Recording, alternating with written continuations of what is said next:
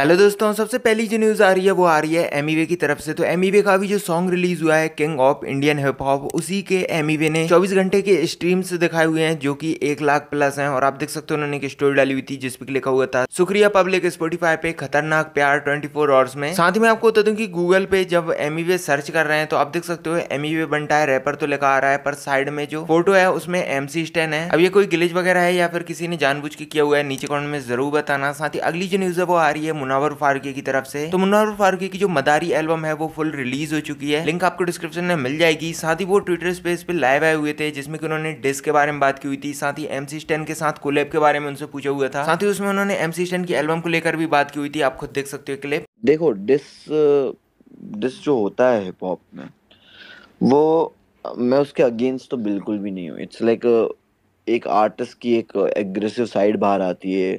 Competitive क्योंकि hip hop अगर है तो कम्युनिटी भले कुछ भी हो बट सबको नंबर बनाना है राइट तो हर इंसान अपना क्लेम करेगा कि मैं तुझसे बेहतर क्यों? मैं तुझसे बेहतर कैसे हूँ? तो हिप हॉप में ये बहुत ही बढ़िया तरीका है दिखाने का कि भाई मैं तेरे से लड़ने नहीं आ रहा, चाकू छुरी लेके, मैं अपनी पेन से लिखूँगा कुछ तेरे से बेहतर। अब तू मेरे से बेहतर लिख के दिखा। So it's like a very good thing for the scene but जिस तरह का माहौल हो जाता है टॉक्सिसिटी इतनी हो जाती है कि लोग समझ नहीं पाते यार कि आर्ट फॉर्म क्या है।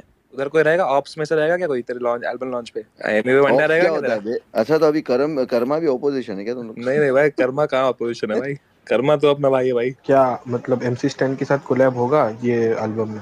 लोगों को लगता है कि वो साथ में चिल कर रहे तो गाना बना दिए।